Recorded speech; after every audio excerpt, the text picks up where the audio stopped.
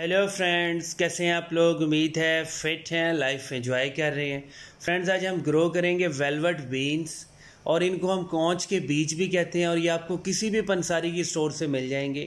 اور یہ ایک ہربل پلانٹ ہے یہ ایک بشی ٹائپ وائن بنتی ہے، بیل بنتی ہے اور اس کے اوپر جو پھلیاں لگتی ہیں، جس کے اندر اس کے سیڈز ہوتے ہیں، وہ کافی موٹی موٹی ہوتی ہیں اور بلیک کلر کی ہوتی ہیں، بڑی بڑی پھلیاں ہوتی ہیں۔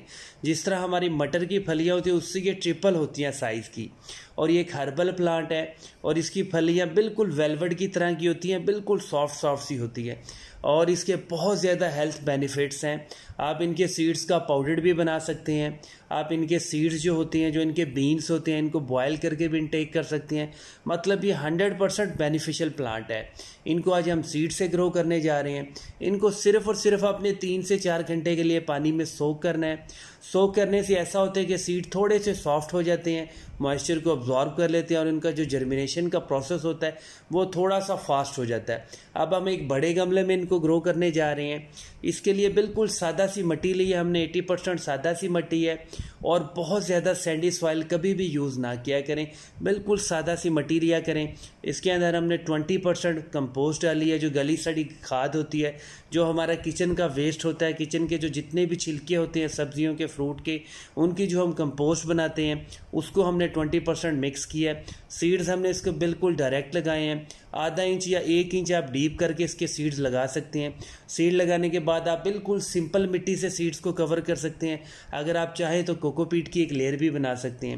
جب بھی آپ اس طرح سیڈ لگائیں فرسٹ ٹائم آپ نے تھوڑا سا زیادہ پانی دینا ہوتا ہے۔ زیادہ پانی سے دینے سے یہ ہوتا ہے کہ پانی ایک بار اچھے سے موائسٹ کر دیتا ہے، گملے کی مٹی کو ہیومیڈیٹی اور موائسچر بنا رہتا ہے اور آپ کے سیڈز جلدی جرمینیٹ ہو جاتے ہیں۔ سیڈ لگانے کے بعد چاہے گرمی ہو، چاہے سردی ہو، آپ نے کوشش کرنی ہوتی ہے سیڈز کا جو گملہ ہوتا ہے، اس کو شیڈی ایریا میں رکھیں۔ نہ بالکل دھند لگے، نہ فوگ لگے، نہ دھوپ لگے، نہ گرمی لگے۔ بالکل روم ٹمپریچر والا انوائرمنٹ دینا ہے اور فرسٹ ٹائم آپ نے تھوڑا سا زیادہ پانی دینا ہوتا ہے۔ بیسیکلی جو ویلوڈ بینز ہیں، وہ ویتنام، انڈیا، بنگلہ دیش، انڈونیشیا، فلپائنز والی سائڈ پہ بہت زیادہ وائلڈ گرو ہوتی ہیں۔ اور کہ یہ بھی کہا جاتا ہے کہ جس ایریے میں اس کو آپ گرو کرتے ہیں، جہاں کی زمین میں اس کو گرو کرتے ہیں، یہ اس زمین کی فرٹیلیٹی کو بہت زیادہ انکریز کرتی ہے مطلب اس کی روٹس میں سے نائٹروجن انہیل ہوتی ہے، بہت زیادہ اور وہ آپ کی جو مٹی ہوتی ہے، آپ کا جو پوٹنگ مکس ہوتا ہے، اس کو بہت زیادہ نائٹروجن پرووائڈ کرتے ہیں اور وہ آپ کا بہت زیادہ فرٹیلائز ہو جاتا ہے۔ اس لیے اس کو بہت زیادہ لوگ گروتھ کرتے ہیں۔ مطلب جو بنجر زمین ہوتی ہے، جو بالکل بالکل فالتو پڑی ہوئی ہے، وہاں پہ اس کی بیلوں کو لگایا جاتا ہے اور یہ بہت زیادہ انکریز کرتی ہے فرٹیلیٹی کو۔ اور آپ اس کو، جب اس کو کسی بڑے گملے میں گرو کرتے ہیں، تب بھی یہ بہت زیادہ انکریز کرتی ہے۔ اب ہمارے پاس جو اس کی جرمینیشن تھی، وہ فورتھ ڈے کے بعد ہوئی تھی۔ ہمارا ایک بیبی پلانٹ جو تھا وہ فور ڈے کے بعد بن گیا تھا۔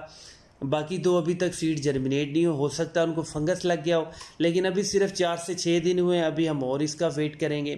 اور یہ ایک بیل بنتی ہے آپ اس کو آؤٹ ڈور گرو کرنا ہے، لیکن آپ نے اس کو تھوڑا سا شیڈی ایریا میں رکھنا ہے۔ بہت زیادہ تیز گرمی جیسے مئی، جون، جولائی ہوتی ہے۔ اس طرح میں آپ اس کو سروائیو نہیں کر سکتے ہیں۔ اور یہ ایک ہنڈریڈ پرسنٹ پرماننٹ پلانٹ ہے۔ ایسا نہیں ہے کہ یہ چھ سات مہینے کے بعد ڈرائی ڈیڈ ہو جائے گا۔ نہیں، یہ پرماننٹ پلانٹ ہے۔ آپ اس کو شیڈی ایریا میں گرو کریں۔ ایسی جگہ جہاں تین چار گھنٹے کی دھوپ آ جاتی ہو، چاہے ارلی مارننگ ہو، چاہے تھوڑی سی شام کے وقت کی دھوپ ہو، تو یہ ہنڈریڈ پرسنٹ گرو ہوگا۔ اس کی میں بیل بناؤں گا، اس کو میں ہینگ کروں گا۔ اس کے لیے ہم نے اسپیشل نیٹ بھی منگوا لی ہے، جو بہت زیادہ پلاسٹک کی تندی ہوتی ہے، جو مچھلیاں پکڑنے والی جو ڈوری ہوتی ہے، اس سے موٹے والا ہے۔ وہ پلاسٹک کا ہے، اچھے والا نیلون ہے، وہ بہت جلدی میلٹ بھی نہیں ہوگا، دھوپ میں اور خراب بھی نہیں ہوگا۔ اس کے اوپر ہم اس بیل کو چڑھائیں گے اور ساتھ ساتھ آپ کے ساتھ اپڈیٹ بھی شیئر کریں گے۔ اور یہ ہنڈریڈ پرسینٹ ہربل پلانٹ ہے اور اسپیشلی جو ہمارے میلز ہوتے ہیں، ان کے لیے تو بہت زبردست پلانٹ ہے۔